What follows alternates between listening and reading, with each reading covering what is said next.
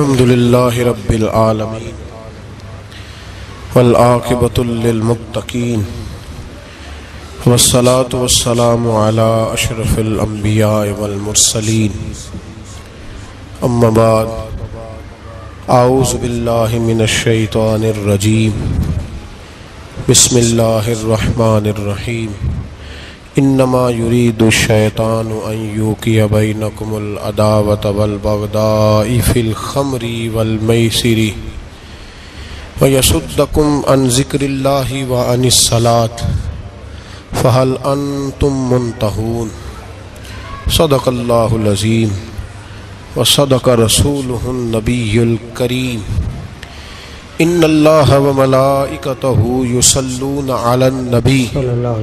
या अय्युहल्लज़ीना आमनू सल्लु अलैहि व सल्लिमू तस्लीमा। अस्सलातु वस्सलामु अलैका या सय्यदी या नबी अल्लाह। व अला आलिका व अस्हाबिका या सय्यदी या हबीब अल्लाह अल्लाहुम्मा सल्लि अला सय्यदिना व मौलाना। मुहम्मदिन मअदनिल जूद वल करम व आलिहि व बारिक व सल्लिम तमाम तारीफ़ें अल्लाह ताला जल्ल जलालहू के लिए। हर किस्म के दरूद सलाम नबी रहमत सैद आलम नूर मुजस्सम आका कुल ख़त्म रसूल दाना सबुल अहमद मुशतबा जनाब हज़रत मोहम्मद सल्लल्लाहु ताला अलैहि वसल्लम की ज़ात वाला सिफ़ात के लिए हम सलात के बाद। कुरान मजीद फ़ुरकान हमीद की सूरतुल मायदा। आयत नंबर इक्यानवे। अल्लाह तबारक व ताली ने फरमाया इन नमा युरीद शैतान। बेशक शैतान चाहता है। अयू की अदावत अवल बगदा। कि वो तुम्हारे दरमियान अदावत और बुग्ज पैदा कर दे। उसकी ये ख्वाहिश है, वो ये चाहता है कि तुम्हारे बीच दुश्मनी अदावत और बुग्ज पैदा कर दे। फिर वो क्या करता है? फिर वो बतौर हथियार दो आले इस्तेमाल करता है। दो चीज़ें बतौर हथियार के इस्तेमाल करता है। वो कौन सी? फरमाया, फिल खमरी वल एक शराब और दूसरा जुआ। शराब और जुए के सबब से वो तुम्हारे दरमियान अदावत और दुश्मनी ये अल्लाह का कुरान है। और बंदा मोमिन के दिल पर जो चीज़ सबसे ज़्यादा असर करती है वो उसके रब का कलाम पाक है। फरमाया शैतान की ये ख्वाहिश है कि तुम्हारे बीच दुश्मनी अदावत डाल दे। किस सबब से? शराब और जुए के सबब से। एक तो ये चाहता है कि शराब तुम पियो जुआ खेलो तो तुम्हारे बीच दुश्मनी हो जाए। और दूसरा इरशाद फरमाया व यसुद्दकुम अन ज़िक्र व अनिसलात और वो तुम्हें अल्लाह के ज़िक्र से और नमाज़ से रोकना चाहता है। गोया जो शराब पिएगा जुआ खेलेगा वो ज़िक्र से भी रुक जाएगा और नमाज़ से भी रुक जाएगा। बंदे किसी में दो ही हुकूक होते हैं हुकूकुल इबाद और एक हुकूकुल्ला तो इस आया मुकदसा ने दोनों बातों की वजाहत कर दी कि जुआ खेलने वाला नशा करने वाला शराब पीने वाला ना हुकूकुल्ला अदा कर सकता है और ना हकूक़ इबाद अदा कर सकता है। फारिग हो जाता है। और, और फिर कुरान मजीद ने जो दस्तक दी है ना दिलों पर वो बड़ी अनोखी है। ये दोनों बातें बयान करके मेरे रब ने सवाल पूछा अपने बंदों से। इरशाद फरमाया अल्लाह करीम ने दोनों बातें बयान करने के बाद और सवाल का अंदाज बड़ा नोखा है फरमाया फहल अन तुम मुंतहून। तो क्या तुम बाज आ गए हो? इशाद फरमाया क्या तुम? कभी आप इन लफ्जों का हुसन समझें। कुरान मजीद के इन अल्फाज की गहराई को समझें। फरमाया तुम्हें बताया है कि शराब पीने वाला जुआ खेलने वाला ना हुकूक इबाद अदा कर सकता है ना हुकूक अदा कर सकता फहाल अन तुम मुंतहून। तो क्या फिर लोग बाज आ गए हैं? छोड़ दिए लोगों ने ये काम? ये सवाल है। और इस आयत को रब करीम ने सवाल पर ख़त्म फरमाया। क्या तुम बाज आए? छोड़ दिया तुमने। मेरे अजीज़ो, कुरान मजीद ने खमर कहा है शराब को। अरब के लोग खमर कहते हैं, खिमार कहते हैं औरत जब कोई चीज़ ओढ़ लेती थी ना चेहरे पे तो उसको खिमार कहते थे। खमर का माना है, जो चीज़ ढांप लेती है, ओढ़ी जाती है। तो शराब को खमर क्यों कहा गया? इसलिए कि ये अकल को ढांप लेती है। इंसान के पास ईमान के बाद जो सबसे कीमती चीज़ होती है, वो अकल होती है। शऊर जो आदमी अब नॉर्मल होता है ना बेचारा, उसकी कोई ज़िंदगी नहीं होती। पंद्रह पंद्रह साल का अब नॉर्मल बच्चा अम्मा पैंपर लगाती है ना, उसे खाने की होश है, ना पीने की। रूढ़ियों पे लोग बैठे इसलिए कि उसके पास हुसन है, ताकत है, जवानी है, पर अकल तो अकल इतनी बड़ी नेमत। तो शराब, नशा, ये अकल को माउफ करता है। जिस कौम के अंदर नशा आम हो जाए, या जिस कौम के दुश्मन उस कौम में नशा आम करने में कामयाब हो जाए। यूँ समझ लो कि उसने उनकी अकलों को माऊफ कर दिया। उनके मिजाज, उनकी अकलें, उनका शऊर छीन लिया गया जो नशे के आदि हो गए। और हमारे यहाँ तो अब दलीलें बड़ी दी जाती हैं। लोग पूछते हैं, कहते हैं, शराब का ज़िक्र कुरान पाक में आया, चर्स का नहीं आया, फीम का नहीं आया। दलीलें हैं ना जनाब? तो हम तो शराब नहीं पीते माज अल्लाह हम तो दूसरे नशे करते हैं तो उसका तो खमर तो शराब को कहते हैं। तो सुन लो मेरे नबी पाक सल्लल्लाहु अलैहि वसल्लम ने फरमाया हर नशा लाने वाली चीज़ खमर है शराब है हर नशा लाने वाली चीज़। वो शराब है और शराब हराम है। ये हुजूर ने वजाहत कर दी। उसकी कल को जितनी मर्ज़ी किस्में बन जाए। हम गोली कहते थे बच्चे टैबलेट कहते हैं। तो नाम तो एक ही है ना? नाम बदल गया है चीज़, है शराब, ही है नशाई। लोग अब नाम बदल बदल के आए। सुकून आवर दवाई, लोग कहते हैं। सुकून आवर दवाई। तो बीमार की हद तक तो बाज जगह पे फतवा है। लेकिन आम लोग नशा करते हैं। ये बात जब मैं करता हूँ तो मेरे दिल को बड़ी तकलीफ़ होती है। आठ अक्टूबर, रोजनामा एक्सप्रेस ने इदारिया लिखा। खबर नहीं इदारिया। यानी कौमी सतह पर एक अखबार ने एक तजिया दिया। उन्होंने कहा कि पाकिस्तान में सत्तर लाख लोग नशा करते हैं। कितने? बोल के बताए। सत्तर लाख। यार सत्तर सौ भी बड़े होते हैं। और मैं ये बात कर रहा हूँ आप सुन रहे हैं पंखा चल रहा है। हम काश ये बात बयान करने से पहले मैं पलट कर मिलत की तरफ़ नज़र डालूं कि ये वो पाकिस्तान है जो कलमे के नाम पे हासिल किया गया। और भाई, सत्तर लाख पाकिस्तानी और आपका कौमी अखबार ये कहता है कि उन नशा करने वालों की उम्र ज़्यादातर पता कितनी है? दस साल से चालीस साल। तू दहशतगर्दी को रो रहा है और तेरी नौजवान नस्ल का सारे का सारा दिमाग माउफ कर दिया नशे पे लगा के। दस साल से चालीस साल के लोग नशा करते हैं। और हद हो गई उन्होंने लिखा है कि इसमें बूढ़ों की तादाद थोड़ी है औरतें और बच्चे ज़्यादा शामिल हैं। तो मेरे नबी ये पाक सल्लल्लाहु अलैहि वसल्लम ने जिस चीज़ को हराम कहा कुरान मजीद ने कहा रिजसुम मिन अमल शैतान। शराब गंदी चीज़ है और शैतान का अमल है। गंदा जिसको कुरान ने गंदा कहा गंद कहा जिसे। सत्तर लाख पाकिस्तानियों की रगों में उंडेल दिया गया। और फटाफट तलाशी लेने आ जाते हो मदारस की। फटाफट पढ़ो ना आठ अक्टूबर के अखबार। और अब जरा कलेशन कोफों का रुख मोड़ो। तुम कहते थे मदरसे दहशत गर्दी की बात करते हैं। और तुम्हें पता है कि दरूद वाले कौन है बरूद वाले कौन है। ये भी तुम्हें सारा पता है लेकिन तुम दहशत गर्दी की बात करते थे। पलट के आओ और जब देखो, तुम्हारे मुल्क के कौमी अखबार ये कहते हैं कि नशा सबसे ज़्यादा यूनिवर्सिटियों में मिलता है, कॉलेजों में मिलता है और सरकारी इदारों में मिलता है। यहाँ तो तुम कौम को यह कह के खामोश हो गए कि ये मदरसे दहशत गर्दी की पनीरियाँ हैं। तो वो कौम का जवान जिसकी माँ ने जेवर बेचकर उसे पढ़ने भेजा था और गाँव से आकर पढ़ने वाले भूल गए।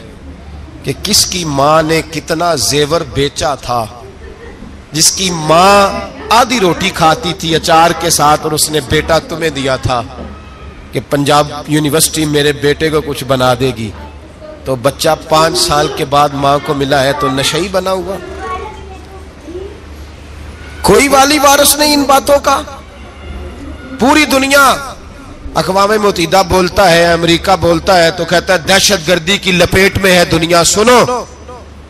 पूरी दुनिया में कत्ल, डाका लूट मार ज़बरदस्ती कत्ल से अगर पूरी दुनिया में रोज औसतन लोग इंतकाल करते हैं तो वो उनतालीस है, पूरे चालीस नहीं।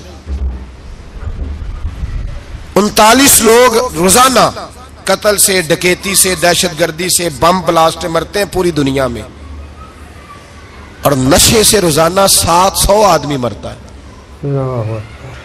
तो बड़ा खतरा तो नशा है तुम्हारे लिए। ड्रग्स है। वो तुमने आम दिया हुआ है। मेरा कलेजा फटता है। जब मैं ये बात करता हूँ कि इस्लामी मुल्कों की एयरलाइनों में भी शराब दी जाती है। मैं जुम्मे के खुतबे में कुरान पाक आगे रख के मिंबर पर बैठकर किस मुँह से ये बात करूँ?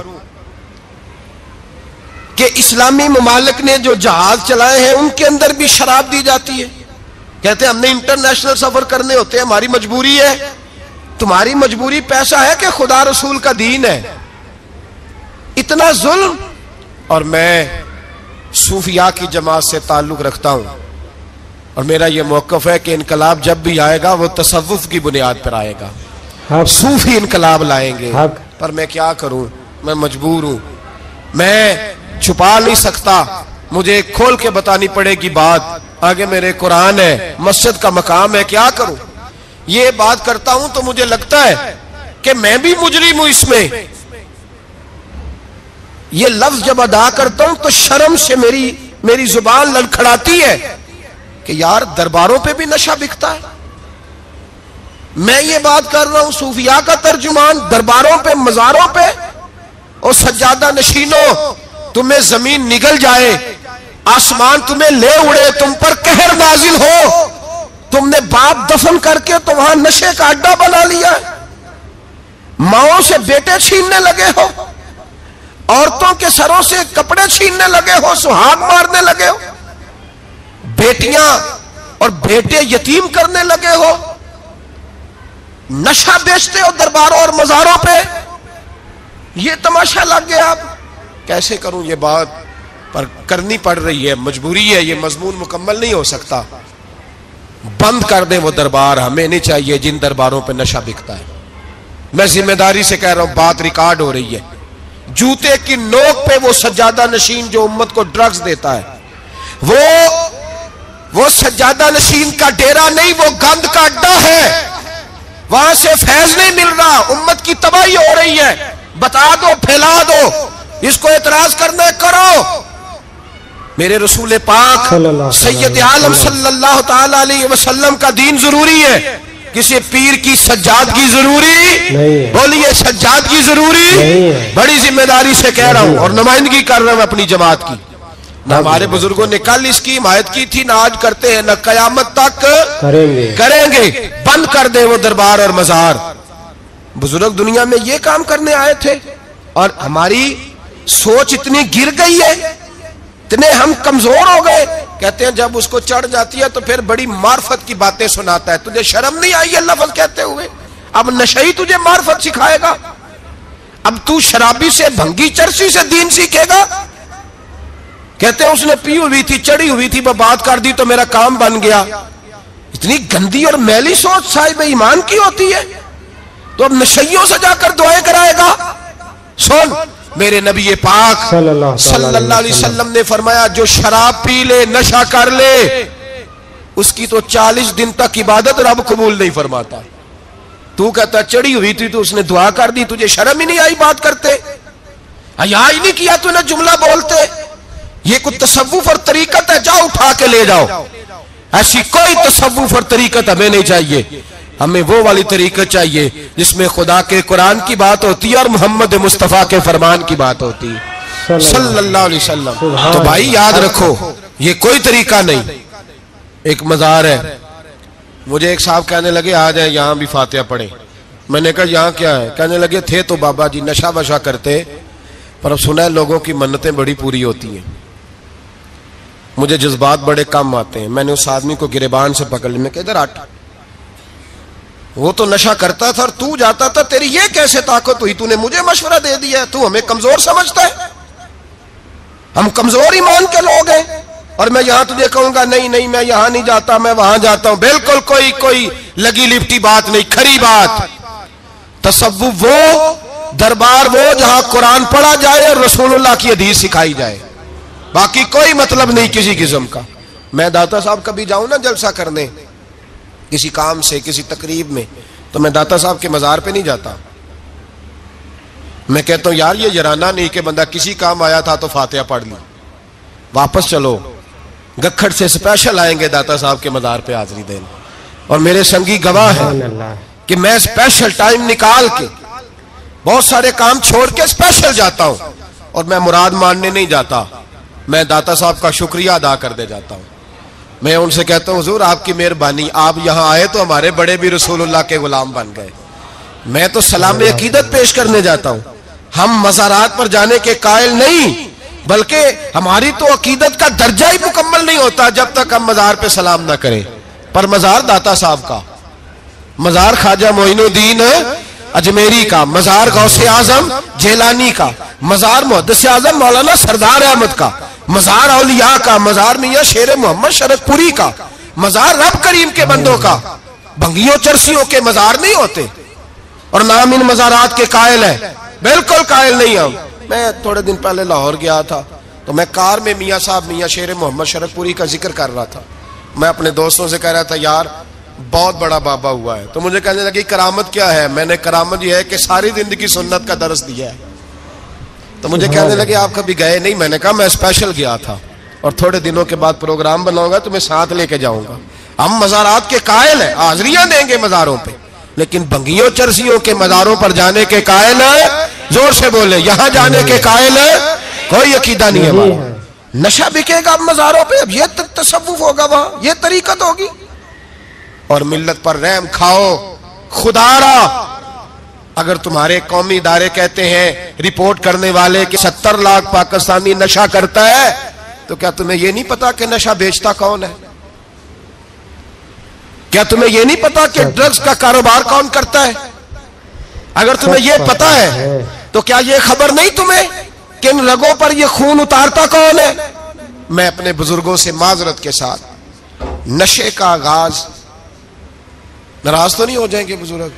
नौजवानों को मैं लताड़ लेता हूँ लेकिन बुज़ुर्गों की इज़्ज़त करना सुन्नत है। हम्म। तो मैं बुज़ुर्गों से माजरत के साथ ये यू समझ लिए खूगरे हम से थोड़ा सा गिला भी सुन ले। नशा सिगरेट से शुरू होता है। सिगरेट से। मैं तंबाकू को आराम नहीं कहता ये फतवा नहीं दे रहा। तंबाकू का हुक्म वही है जो मूली का है जो कच्चे प्यास और लसन लसन का है। कि आप जब खा लेते हैं तो मुँह से बदबू आती है। तो आप मस्जिद में आए तो आने से पहले मिसवाक करें, मुँह साफ़ करें, फिर आप आ जाए। तो जायज़ है। मकरू है, लेकिन हराम लेकिन तंबाकू से आगे जब हालात बढ़ते हैं, तजिया निगारों ने लिखा है कि हमारे पंजाब के कुछ इलाकों में अब सिगरेट से निकाल के ना, पहले भी भरते थे लोग, उसमें बड़ा कुछ। अब अब पता है कि नया नशा ईजाद किया है। अब उसके अंदर चर्च भी भरते हैं और छिपकली को मार के सुखा के खुश करके उसको पीस के वो साथ नशे के मिलाते हैं और उसका हाल ये होता है कि आदमी को ज़्यादा नशा होता है। और कहते हैं वो इतना गंद है कि वो आदमी किसी को दांत भी लगाएगा तो वो बंदा भी बीमार हो जाएगा। क्या यहाँ लोग स्प्रिट नहीं पीते आपके मुल्क में? और हम कभी सड़क पर जाते हैं तो नशई को देख के मज़ाक करते हैं। देखना, मैं हारन लगाऊँगा तो गाड़ी के हारन से गिर जाएगा। लेकिन तुझे पता नहीं कि ये किसी माँ का बेटा है। पता नहीं किसी बीवी का शौहर है। एक, हमारे दोस्त हैं, बुज़ुर्ग हैं। उनका दामाद फौत हो गया, नशा करता था। तो मैं तजियत करने उनके घर पहुँचा तो खड़े हो गए हाथ बाँध के। कहने लगे हज़रत साहब बाकी सारिया गल् छड़ दो सिर्फ़ नशे ते तकरीर करया करो। वो जब जीता था तो तब भी उसके बच्चे यतीम ही थे। यतीम ही थे। मेरी बेटी जब मेरे घर आती थी और मैं अपने पोतों के उतरे कपड़े उसे पहनने को देता था तो मेरा कलेजा फटता था। और मेरी बेटी उसकी ज़िंदगी में भी बेवा की ज़िंदगी गुजार रही थी। वो मेरी बहुओं के उतरे हुए कपड़े पहनती थी। कोई दुआ करो, कोई जल से करो, ये लत खत्म हो जाए। और कहने लगा, अब मेरे, वो चला तो गया है। दादा दादी इसके पहले कोई नहीं, चचा है कोई नहीं। जब तक तो मैं ज़िंदा हूँ। इन नवासों को कोई रोटी का लुकमा, कोई कपड़ा मिल जाएगा, लेकिन सोचता हूँ मैं बूढ़ा हूँ, मर गया तो इनको कोई पूछेगा भी नहीं। कौन इनकी खबर? इतना जुल्म इस कौम से, इतनी ज्यादती। और आराम से लिख कर लोग गुजर गए कि ये सत्तर लाख है, इनका दर्द तो समझो, तकलीफ़ तो समझो। सात फुट का सोना जवान और नशे का आदि है तो किसी नाली में पड़ा हुआ है। और मैंने कहा, उस कौम के साथ इससे बड़ा भयानक मज़ाक क्या होगा? कोई दानश्वर था था बड़ा जालिम। उस जालिम से कोई मशवरा लेने आया। उसने आके कहा तू बड़ा जालम है, बड़े कड़वे मशवरे देता है। मेरा एक दुश्मन है, मैं उससे बदला लेना चाहता हूँ। मेरा दिल करता है उसका बच्चा कत्ल कर दूँ ताकि वो तड़पे। तो जालम ने कहा, उसे कत्ल न कर।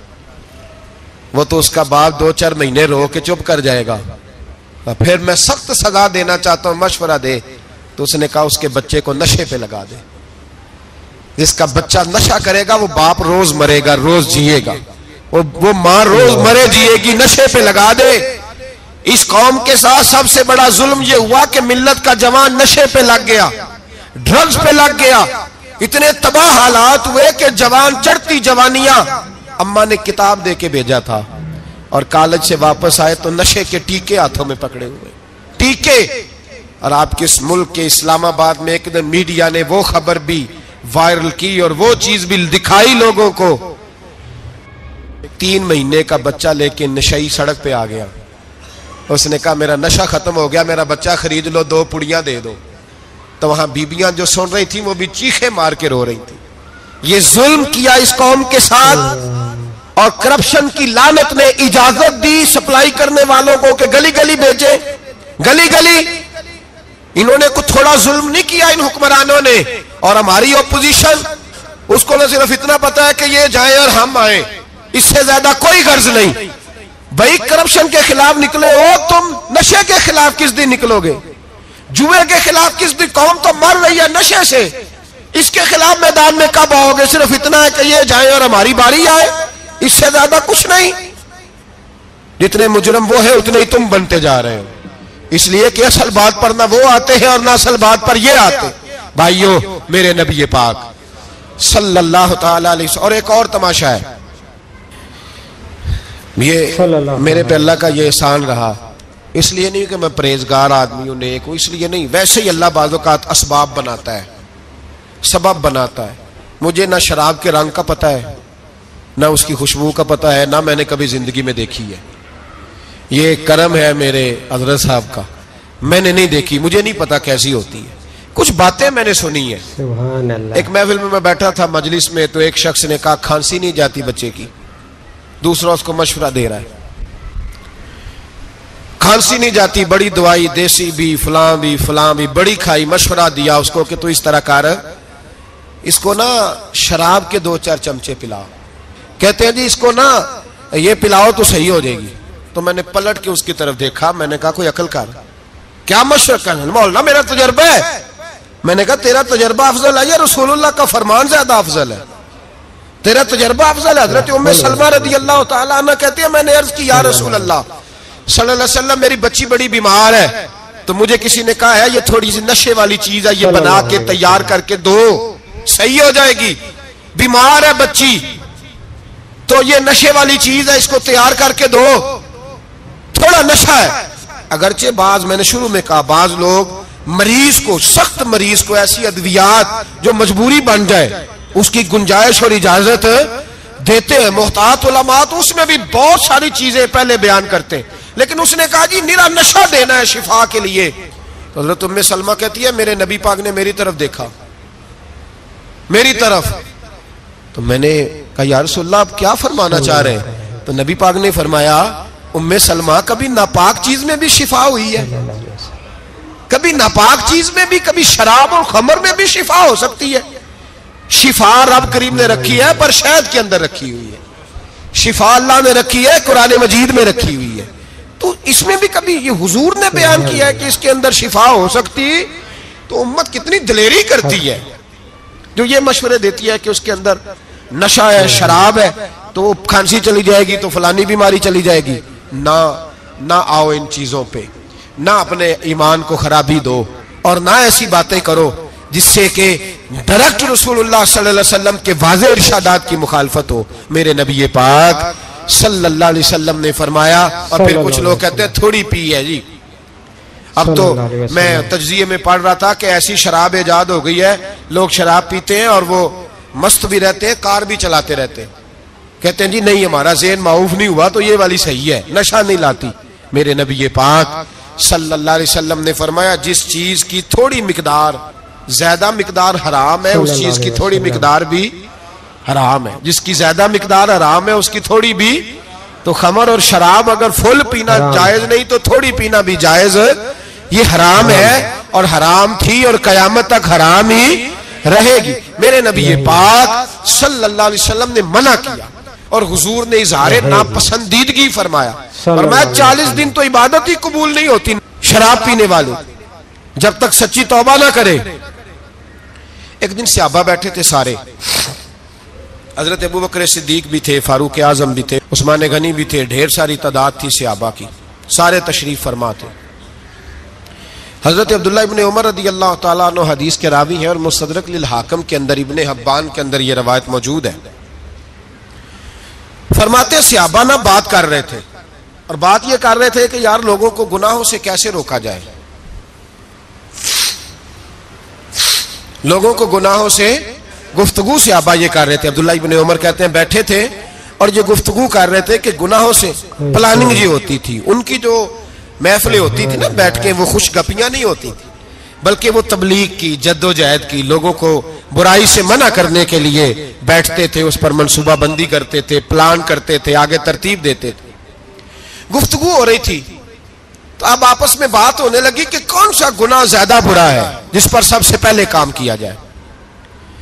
तो दूर एक सियाबी बैठे थे, उनका नाम था अब्दुल्ला इबन अमर। एक अब्दुल्ला बिन उमर है और एक अब्दुल्ला इबन अमर है। हज़रत अब्दुल्ला इबन उमर दूर बैठे थे, बड़े समझदार, सियाने, बारीक बीन आदमी थे। तो हज़रत उम्र फारूक अपने बेटे से कहने लगे, जा अब्दुल्ला इबन अमर से पूछ के आके सबसे सख्त गुनाह कौन सा है? तो है मेरे भाइयों, इधर देखिएगा मेरी जानी। पूछ के आ कि सख्त गुना कौन सा है? जी। अब्दुल्ला बिन अमर रदी अल्लाह तु की खिदमत में जब अब्दुल्ला इबन उमर गए तो जाके कहने लगे कि शहाबा पूछते हैं कि आपने ज़्यादा वक्त गुजारा है नबी रहमत सल्लल्लाहु अलैहि वसल्लम के पास तो बतलाइए बुरा गुना कौन सा है? सबसे सख्त गुना ताकि सबसे पहले उस पर पाबंदी लगाई जाए उस पर मेहनत की जाए। तो हज़रत अब्दुल्ला इबन अमर कहने लगे सियाबा को जाके बता दो कि सबसे बुरा गुना शराब पीना है। सबसे बुरा गुना। और ये उम्मुल खबाइश है। बुराइयों की जड़ है, गुनाहों की माँ है। ये बुनियाद है। बाकी गुनाह इसी से शुरू होते हैं। कहते हैं, मैंने आके बताया तो हज़रत अबू बकर सिद्दीक रदी अल्लाह तला सैदना फारूक आज़म कहने लगे, खुद जाते हैं। उनके पास खुद जाते हैं, चूँकि हमने बात सुननी है। हम खुद जाते हैं। और उनसे जाकर के सवाल करते हैं कि अगर आपको इस तफसील का पता है ना तो इसके पीछे भी कोई तफसील होगी जो मेरे नबी पाक ने बयान की होगी। सल्लल्लाहु सल्लल्लाहु ताला अलैहि उस तफसील का भी आपको पता होगा। जो नबी पाक ने बयान की होगी इस बात के पीछे जो बैकग्राउंड है जो पस मंजर है फरमाते हैं कि हम उठे अब्दुल्ला इब्ने अमर के पास गए। उनसे जाके पूछा कि जनाब आपने ये तो फरमाया है शराब उमुल खबाइस है तो इसके पीछे पस मंजर क्या है? तो अब्दुल्ला इबन अमर कहने लगे ये मैंने अपने पास से नहीं कहा ये मैंने नबी पाक से सुना हुआ है। हुजूर सैयद आलम सल्लल्लाहु अलैहि वसल्लम बैठे थे तो हुजूर ने फरमाया शराब ये नशा ये बुराइयों की माँ है। और फिर हुजूर ने एक मिसाल बयान फरमाई। नबी रहमत सलाम ने फरमाया बनी इसराइल का एक वाक्य है। एक खूबसूरत जवान था। एक औरत का दिल आ गया उस पर। ये याद रख लें हम लड़कों को मना करते रहते हैं। लेकिन हमें घर की बच्चियों पर भी तवज्जो देनी होगी। हमें उनका उनके फ़ोन पर भी निगरानी करनी होगी। हमें वहाँ भी गौर करना होगा। इसलिए कि अगर कोई बच्ची गुंजाइश ना दे तो मेरा ख्याल है कि लड़का ज़रूरत करने की ताकत नहीं रखता। तो वहाँ भी उनकी अम्मा से कहे कि पाबंदी लगाए बच्ची किसी की किसी का मोबाइल लेकर के कहीं उसको इस्तेमाल तो नहीं कर रही। इस पौधे पर भी तवज्जो दे दरख्त बनने से पहले इसकी भी निगरानी करें। यह भी बड़ा ज़रूरी काम है। औरत का दिल आ गया। तो नबी पाक सलाम फरमाते उसने कोई बहाना लगाया किसी को कहा कि उस नौजवान को बुला के लाओ। उसके कहो कि हमने कोई गवाही लेनी है तुझसे वो नौजवान आया। एक कमरे में दाखिल हुआ तो अगले कमरे में ले गए। वहाँ दाखिल हुआ तो उससे अगले कमरे में ले गई। वो दाखिल हुआ तो इसी तरह सात मुकफल कमरों में ले गई। मेरे करीम रसूल मेरे महबूब पाक सलाम फरमाते सियाबा को समझा रहे हैं मीठे लबो लहजे में। फरमाते जब सबसे पिछले कमरे में ले गई तो एक लड़का बंधा हुआ था वहाँ रस्सियों से। शराब का प्याला पड़ा हुआ था।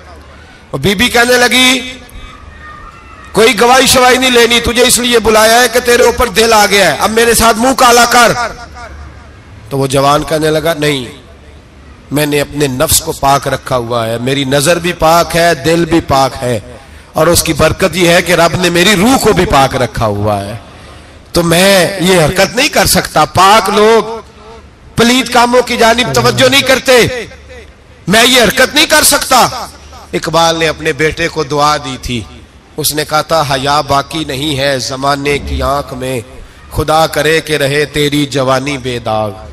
खुदा करे के रहे तेरी जवानी बेदाग। कहा, मेरे साथ मुँह काला कर। उसने कहा, मैं नहीं करता। कहने लगी चल फिर इसको कत्ल कर इस, इसको मैंने बांधा हुआ। उसने कहा मैं कत्ल क्यों करूँ? मेरी क्या दुश्मनी है? कहा फिर शराब पियो? कहा मैं शराब भी नहीं पीता। तो कहने लगी अब तो मैंने तुझे अपने चुंगल में फांस लिया है। अब तू यहाँ से बच के जा नहीं सकता। और अगर तू बाहर जाएगा तो मैं शोर करूँगी लोग जमा करूँगी। इसने मेरी इज़्ज़त आबरू पे हाथ डाला है। तो तू बच तो नहीं सकता। एक काम तो करना पड़ेगा। महबूब फरमाते उस नौजवान ने सोचा कि जिना भी बहुत बड़ा जुर्म है, कत्ल भी बहुत बड़ा गुना है। चलो, अब मजबूरी है तो शराब पी लेता हूँ। लेकिन वो समझा ना कि शराब तो बुनियाद है। उसने एक प्याला जो पिया, कहने लगा, एक और दे दो। दूसरा पिया तो कहने लगा, एक और दे दो। अब तीन प्याले, तीन बोतलें शराब जो पी चुका तो खुमारी चढ़ गई। अब उस औरत के करीब जाने लगा कि मैं तेरे साथ जिना करूँगा। उसने कहा, जब तक मैं करीब नहीं आने दूँगी, जब तक तू इसे कत्ल न करे। उसने उसे कत्ल भी किया, जिना भी किया। तो महबूब फरमाने लगे, ये कत्ल और जिना जो हुआ है तो ये शराब की वजह से हुआ है। गोया शराब वो जुर्म है, जो कत्ल भी कराएगी, जो जिना भी कराएगी। और अगर आप नशई को देखें, अगर आप शराबी को देखें तो क्या वो डकेतियाँ नहीं करता फिरता? वो चोरियाँ नहीं करता? वो अपनी ही माँ का जेवर नहीं बेचाता? वो अपनी ही बहन का पड़ा हुआ जहेज नहीं बेच आता वो अपने ही घर में डाके नहीं डालता? वो अल्लाह के घर मस्जिद में आकर के चोरी नहीं करता? वो सिर्फ़ इसलिए करता है कि ये नशा, ये शराब, ये माँ है गुनाहों की, ये जड़ है। मिल्लत के लोगों, याद रखो, इस उम्मत, इस पाकिस्तान के साथ जहाँ बहुत सारे जुल्म हुए, वहाँ बड़ा जुल्म यह है कि बहुत बड़ा तबका जवानों का, नशे का आदि है।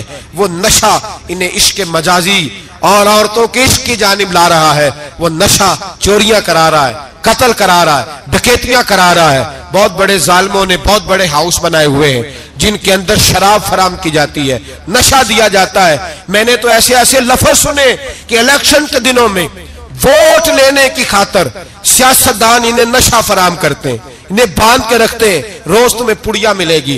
वोट हमें डालना इतना जुल्म इतनी ज्यादती इतना जबर एक इंसान के साथ खेलना। लौट आओ पकड़ो इनका दामन अपने घरों को बचाओ अपने दोस्तों को बचाओ। जागो जागो उम्मत के लोगों जागो। मेरे नबी पाक सल्लल्लाहु अलैहि वसल्लम के कलमा गो लोगों को बचाओ। इन पर अगर सख्ती करनी पड़ती है तो करो। प्यार करना पड़ता है तो करो। मेहनत करो जद्दोजहद करो। एक सियाबी थे नहीं ईमान बिन अब्दुल्ला। क्योंकि अरब के लोग शुरू से शराब पीते थे, हराम नहीं बाद में हराम हुई। एक दिन गलती हो गई। शराब पी ली। फिर से भूल गए। अब किसी ने पर्चा नहीं कटाया, मुखबरी नहीं की, शिकायत नहीं लगाई। जब नशा उतरा तो खुद ही ख्याल आया, ये मैं क्या कर बैठा हूँ? खुद एहसास तो एहसास भी नहीं ना होता। दौड़े आए नबी पाक की बारगाह में और आके हाथ बांधे या रसूल अल्लाह सल्लल्लाहु अलैहि वसल्लम मुझे पाक कर दे। आका और रोते जा रहे हुजूर ने सियाबा से कहा देखो इसके मुँह से शराब की बदबू आती है। क्या हुजूर आ रही है। माँ ज़्यादा प्यार करती है या रसूल पाक? बाप ज़्यादा प्यार करता है कि नबी पाक? हुजूर भी रहमत आलमीन है उम्मत के लिए। लेकिन जब साबित हो गया ना कि शराब पी है तो फिर मेरे महबूब ने फरमाया, अब इसकी सलाह ज़रूरी है। हुक्म दिया और जब बात की तो जाहो जलाल के आलम में की रोब और दबदबे। फरमाया, ले जाओ बाहर, सुतून से बांधो, कोड़े मारो। हज़रत अबू हुरैरा कहते हैं, उसे कोड़े लग रहे थे। कोड़े? तो मेरे नबी पाक अंदर बेचैनी के आलम में टहल रहे थे। कभी इधर जाते, कभी उधर जाते, कभी इधर आते, कभी उधर। या रसूल अल्लाह सल्लल्लाहु अलैहि वसल्लम आप उसके लिए ये कर रहे तो शराब पी के आया है। तो मेरे हबीब ने फरमाया तूने गलती करना देखा है एहसास करना नहीं देखा? खुद चल के आना माफ़ी मांगना नहीं देखा? मेरे नबी पाक ने फरमाया गलती हुई है तो मैंने सजा भी दी है। और मुझे उम्मीद है आइंदा गलती करेगा भी नहीं। लेकिन गलती हो गई तो क्या हुआ? वो खुदा से भी प्यार करता है मोहम्मद मुस्तफ़ा से भी प्यार करता है। इन लोगों को मुआशरे से काटे ना। इनको जहाज़ कह के नशई कह के काटे ना। ये किसी माँ की आँखों के तारे हैं। ये किसी बहन के राज दुलारे हैं। किसी बीवी के सर का ताज है। कोई बेटी इंतज़ार कर रही है कि मेरा बाप शाम को घर आएगा। ओ भाइयों इन पर मेहनत करो इनके इलाज कराओ जद्दोजहद करो इनके लिए। इन्हें तौबा की तरफ़ लाओ। मेरे शेख पीराने सिलसिला हज़रत जुनैद बगदादी ताला तकरीर कर रहे थे तो एक शराबी पे असर हो गया, दौड़ा हुआ आया। कहने लगा, हजूर, हर रोज शराब पी है। चालीस साल हो गए शराब पीते। आपकी बातें दिल को लग गई हैं, लेकिन आज तौबा करूँगा तो अल्लाह माफ़ कर देगा। हज़रत जुनैद बगदादी फरमाने लगे, तेरा कोई इंतज़ार कर रहा है? तो कहने लगा, हजूर नशइयों का, शराबियों का कौन इंतज़ार करता है? कुछ जमाना अम्मा इंतज़ार करती थी, अब समझ गई, वो नहीं आएगा। कौन इंतज़ार करता है? समझ गई, वो नहीं आएगा। कुछ अरसा बीवी ने इंतज़ार किया, समझ गई। किसी नाली में पड़ा होगा, नहीं आएगा। बहन, भाई, बाल बच्चे इंतज़ार करना छोड़ गए। अब मेरा कोई नहीं इंतज़ार कर रहा। तो हज़रत जुनैद बगदादी रो पड़े। फरमाने लगे, नहीं, रब की रहमत तेरी तौबा का अभी भी इंतज़ार कर रही है। खुदा का करम तेरी तौबा का इंतज़ार कर रहा है। आ जा दरवाज़ा खुला हुआ, लौट आया। वो शख्स कहता है जब बात सुनी तो अल्लाह अकबर कहा कपड़े फट गए कदमों में गिरा वज़ू किया गुसल किया मस्जिद आया कहने लगा या अल्लाह तू वाकई राज़ी है? वाकई राज़ी है? तो फरमाते हैं जब वो रो रो के ये दुआ कर रहा था तो मस्जिद के हर कोने से आवाज़ आने लगी तूने सच्ची तौबा कर लिया तो तेरा रब राज़ी हो गया है। इनको पकड़ के लाओ। और हज़रत जुनैद ने ये बात सीखी कहाँ से? हज़रत सीरी सख्ती से। हज़रत सीरी सख्ती आपके मुर्शद दे तो गुजर रहे थे गली में। एक दरख्त के नीचे रश बड़ा था। दरख्त था तो लोग वहाँ इकट्ठे थे। रश था तो आपने कहा जुनैद पता तो कर यहाँ क्या है। लोगों ने कहा हजूर एक शराबी शराब के नशे में मस्त ऑल फॉल बोल रहा है और लोग तमाशा देख रहे हैं। हज़रत गए छड़ी हाथ में थी। जवानों से कहा चलो निकलो भागो। सब लोग चले गए। तो फरमाया जुनेद जा प्याले में पानी ला। फरमाते मैं पानी लाया तो हज़रत ने अपने हाथों से उसका मुँह धो डाला। अल्लाह करे इनका कोई मुँह धोने वाला याद है अल्लाह करे कोई आए जो इनका मुँह धो डाले। ये तो बेचारे अब उलझ गए गुनाह में कोई आए इनका बाजू थामे। धो के ना मुँह।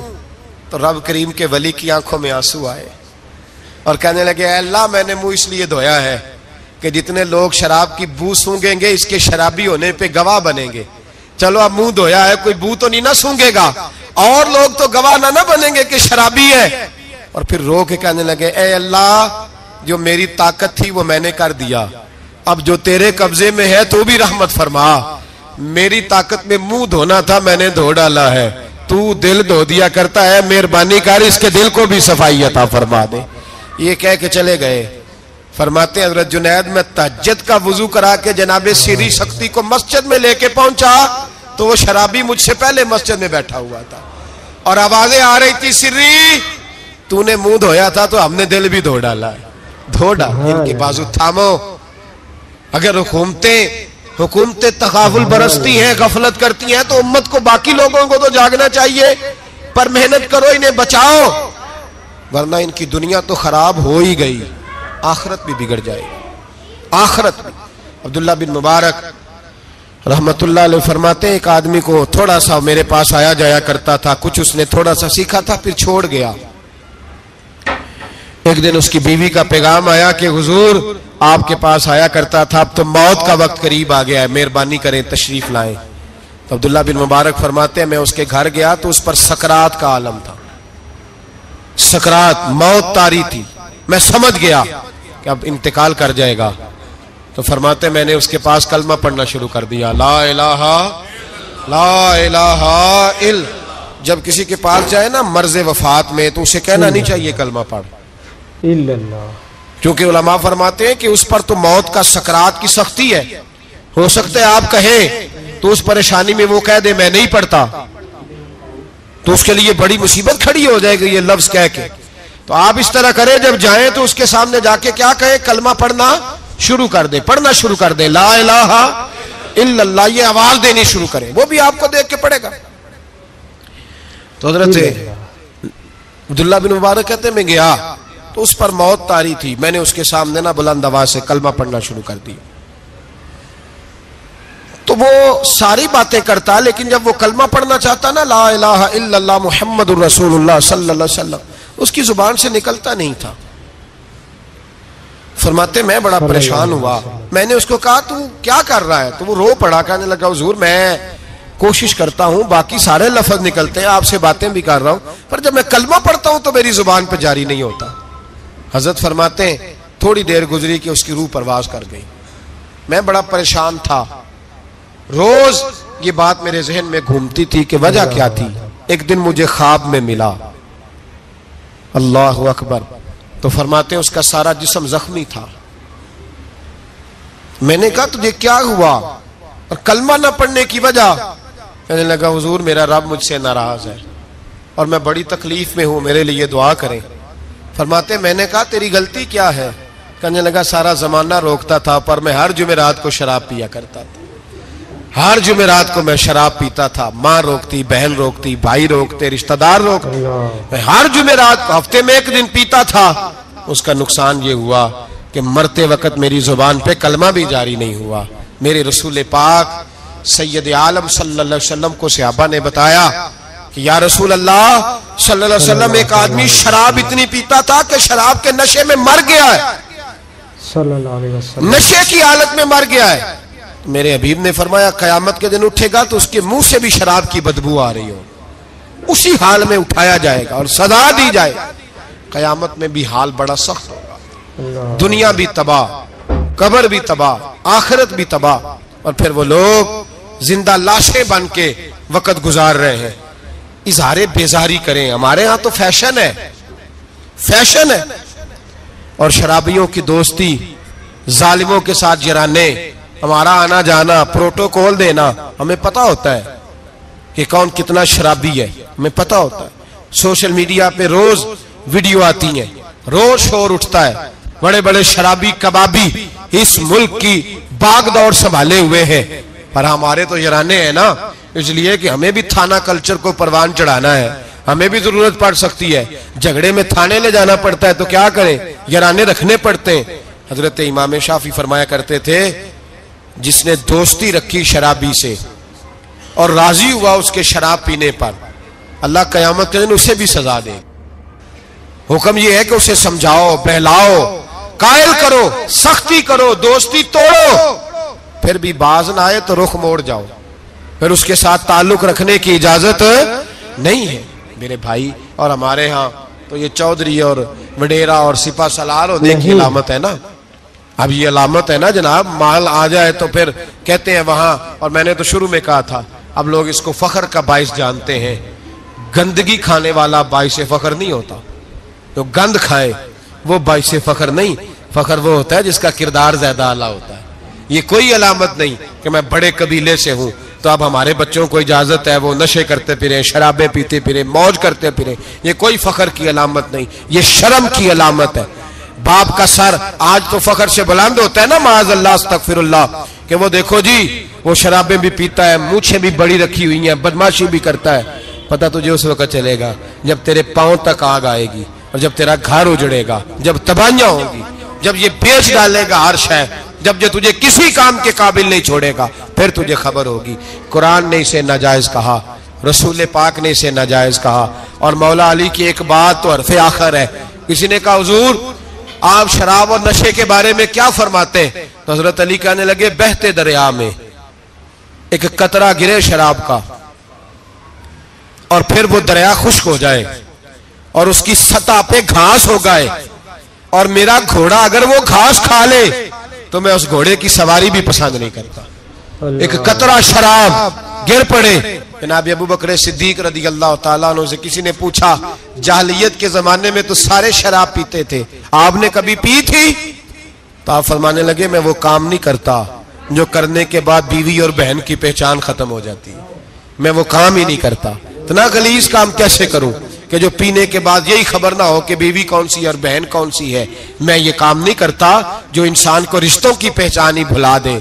मैं वो काम करता हूँ जिसमें इंसान का शौर बेदार रहता है अकल बेदार रहती है। अपनी ज़िंदगी को सवारे और अगर किसी जगह ये गलती है तो खरी और सच्ची तौबा करे और अगर दाएँ बाएँ कोई ऐसा शख्स है तो उसका बाजू थामे मेहनत करे टाइम दे उसे इस दलदल और गंदगी से बाहर निकाले। ये बहुत बड़ी नेकी होगी। और उन बहरूपियों को पहचाने इन्होंने थोड़े से पैसों के लिए मिल्लत के जवानों की रगों में नहीं जहर उड़ेल दिया है और तबाही फैला दी है। दुआ करता हूँ रब करीम की बारगाह में। अल्लाह में समझने की तोफी कथा फरमाए। आखिर किसे चुमे आया गुलाब ताई? किसे जाके कलीनो चुमया है किसे चुमया यार दिचो खटनो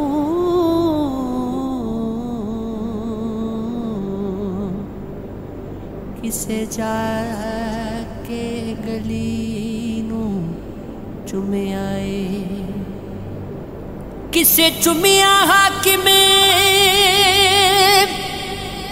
वो सताई